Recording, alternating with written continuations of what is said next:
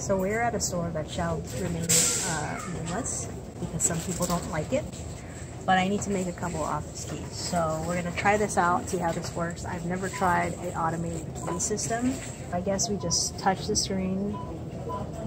I speak English. Please choose the type of key or keychain you would. Office key. Excellent. Now remove your key from its keychain and take any covers off the head of the key. Okay, I've done that. And we're gonna go ahead and Please put it open the inside here. identifier door and position your key by pushing it forward into the notch under the green line.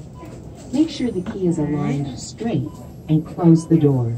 That looks pretty straight, I think. Close the door. Great. We are identifying Scanning the my key.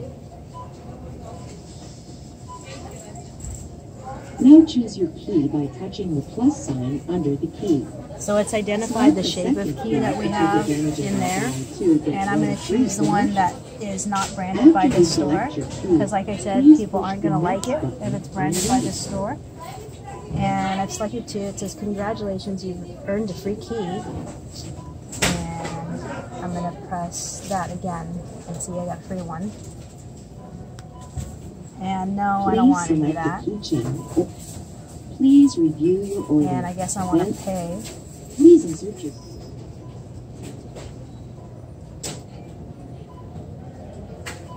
Oh wow! It says it's like about to dispense keys. I don't even got to do anything else. Oh. Okay.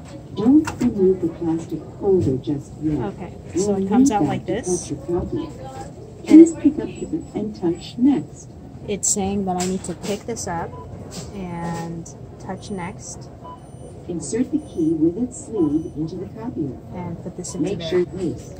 All right. So I'm gonna have the key upward and put it into here, and it's supposed to click. Right. And it says, "Great job. You can now let There we go. go." We're cutting your key. And it's doing the cutting. Okay, it's time to remove the new key from the key cabinet. And now what?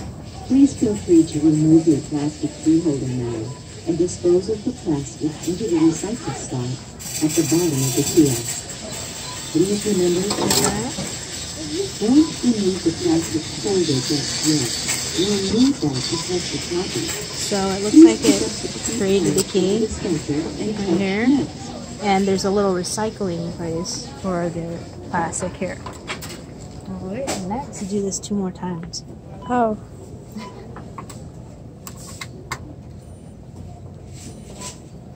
Next. Insert the key with its sleeve into the copier. Make sure you push until it clicks. Here we go.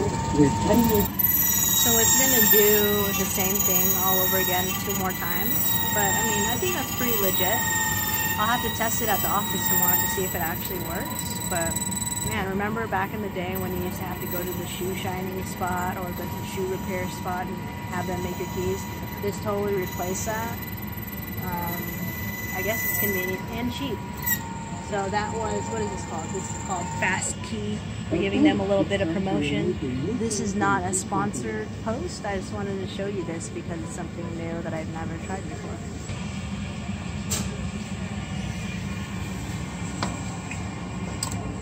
This is the type of thing that you do at 10 p.m. at night when you're an entrepreneur and need to get shit done that's outside of the office.